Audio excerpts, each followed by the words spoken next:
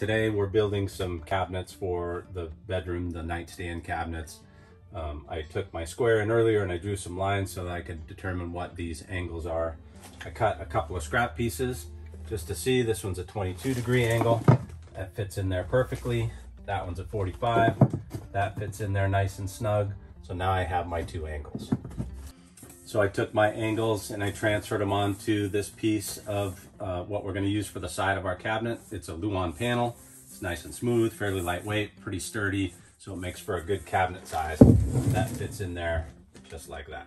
So for our framework for these cabinets, to make them really lightweight but sturdy, we use a combination of like a three quarter, three quarter pine, and then a one by two pine as well. And we just get these pieces here, we mark our angles, we cut them. For our vertical support pieces, we use inch and a half just so it has a lot of extra support.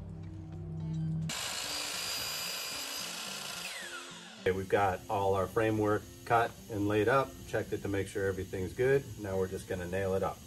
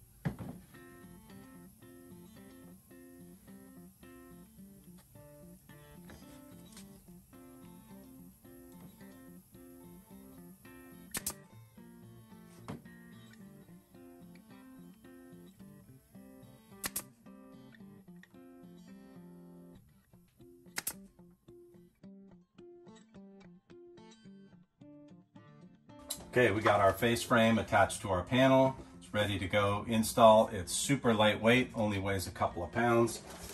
And when it's all installed, you won't be able to tell that it's only two sides. Fits perfectly. Uh, before we install the countertop, I will attach a piece to the wall over here that will support that side of the countertop. And we're gonna paint these before we do the final install.